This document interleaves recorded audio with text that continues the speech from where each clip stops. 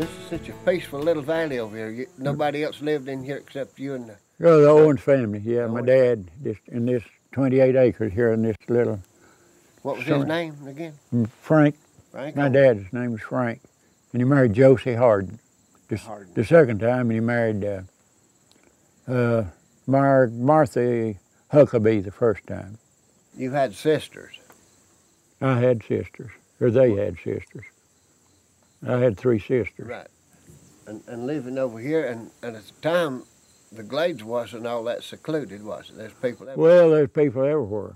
Well, how did the boys find the girls over here? Well, I don't know, just like they do now. Go out and look for them, I reckon. Well, you, you'd probably uh, have to walk further then. no, uh, the Ivy and the Effie both was uh, after they got grown. You know, and, uh, Right. and had a chance to go to work. They went to Highland and got jobs in the summertime working in the, uh, they called them hotels or boarding houses, Right. whichever. And that, that's where the, they met, or a lot of did. That, neither one of them didn't marry nobody they met up there, but they got acquainted with people up there. Well, I don't think you said, Ellis, exactly where we are. This is, would you say we're in Satolah, Georgia now, or? Yeah, this is, well, now it's Big Gum Holler Lane. it ain't no more Satolah, but this is uh, the uh, Satolah community. Looking right here, back to the east, Uh-huh. what, what direction would Ellicott Rock be? Ellicott Rock. Well, it'd be almost straight through that low gap right yonder. Through this way? Yeah, it might be just a little bit to the left, but it'd be a, if you're high up on the mountain, you can see Glade Mountain, and it's on the end of Glade Mountain, and it's northeast. For the folks that don't know Ellicott Rock, that's where Georgia, North Carolina, and South Carolina all Yeah, come it's three borders all come together. And we're in the little V, you know, the way the state of Georgia is made. And we, the then we're two miles up off the Highway 28. Right. So it'd be what, three or four miles back there? And I'd say it'd be at least four miles and a half to straight where the crow flies to Ellicott So Rock. You, Takes about two hours and a half to walk that far. you and your family right here are probably the only people that's this close on the Georgia side to Ellicott. Yeah, yeah. This would be considered back off the road some, Well, that, it, they say this is the beginning of the glade, you know, at the end of the road. right? It's where they went into North Carolina up there. That was the Glades.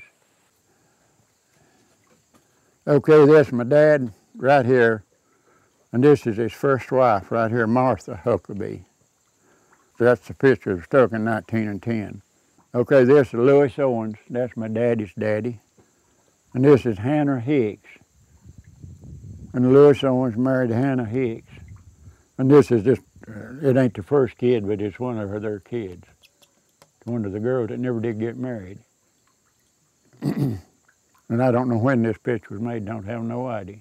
This here picture was made over there at the front of the old house, sitting what we call a chimney corner, but he's up right in the edge of the wood pile. Right.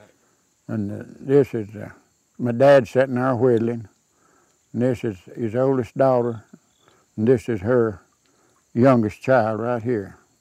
His name is Frank McCall, and she married a fellow by the name of Red McCall.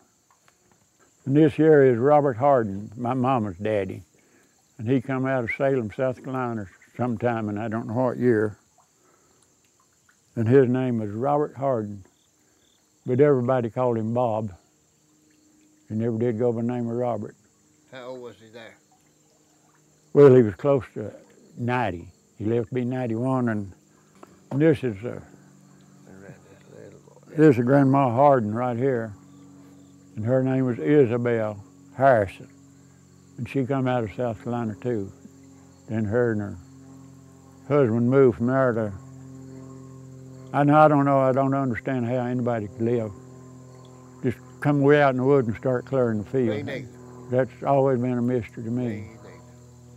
And he had a pasture or a rail fence built around his place. It's three miles long, Gosh. and half of it wasn't even cleared. But he had barns and everything else. And, Industrious. and he done, I hadn't done half the work by himself because he didn't have nobody to help him, him and his wife. Who are the children? And uh, this here is uh, my mama's sister's girl. Her name was Etta Harden, and she married Will Hicks. And William Hicks is one of the ones that growed up in in the Glades.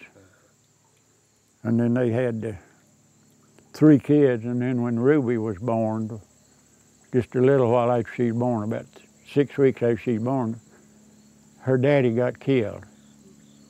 And then, then 90 days later, well, her mama died with Oh, yeah, with so uh, with grief breathing. I mean, she she was happy as nowhere to make a living or nothing back then. You know, 1922.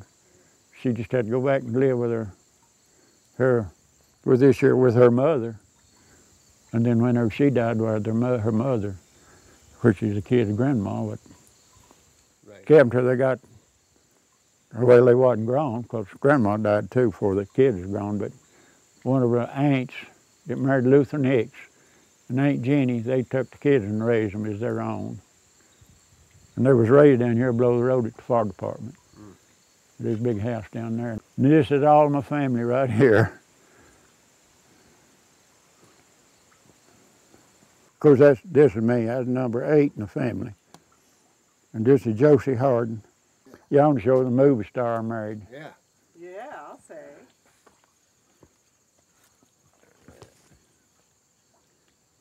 That's good. Tell us about Jean. Okay, Jean was a orphan girl. Her mom and daddy lived in Franklin, North Carolina. Uh, Jean Holt was her daddy's name. Then she's her name is Jean. Yeah, this is the last picture I took of the old house when I had an old, just an old. I, we call him a Kodak, Yeah. a 20 millimeter thing or 20 whatever it is.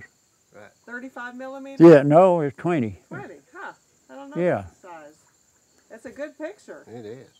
and there was a snow on the ground, and it was in uh, February, and it was 10 degrees, but it's clear as a crystal. Mm, I see. And it's just so pretty, you know, I, I told my wife I believe I'd see if I could get a picture of the old house. It's so pretty. And I did. And it turned out good, and I took it to Clayton at the Edwards Auto, or Photo Yeah. place to have it. Yeah, good, good, Ellis. And he said this is as good a picture as he'd ever developed. This here with the snow in the house. He just couldn't believe it. Now, there's been a lot of years between the first one and this one. Yeah, yeah, there's been, been lots of water runs down the brink since Oh. then.